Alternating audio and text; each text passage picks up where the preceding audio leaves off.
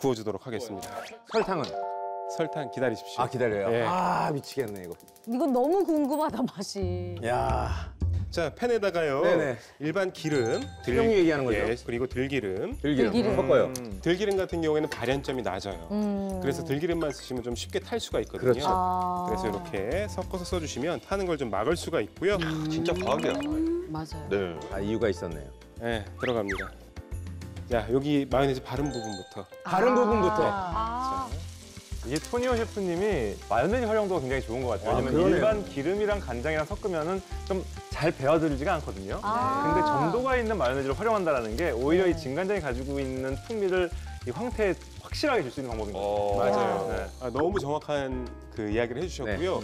이 마요네즈 같은 경우에는요 지방을 가지고 있고요. 네. 그리고 간장 같은 경우에는 단백질을 갖고 있습니다. 네. 그런데 이게 열을 만나게 되면요, 이 단백질이 익으면서 감칠맛을 또 내주고요. 어. 네, 또 간장이 약간 좀 타들어가면서 불향을 확 내주는 거죠. 아. 아 얼른 구워주세요. 네, 알겠습니다. 아, 예. 정말.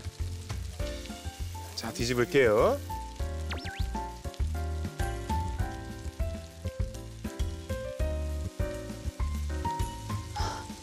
맛있는 냄새. 그리고 여기에 설탕을 뿌려주십니다. 아 지금 설탕. 왜요? 왜 지금 이- 뿌려요? 처음부터 설탕을 넣고 하게 되면요, 설탕이 쉽게 탈 수가 있어요. 아. 살짝 설탕이 녹으면서 카라멜라이징이 돼서 진짜 완벽한 최고의 정말? 불맛을 만들어줍니다.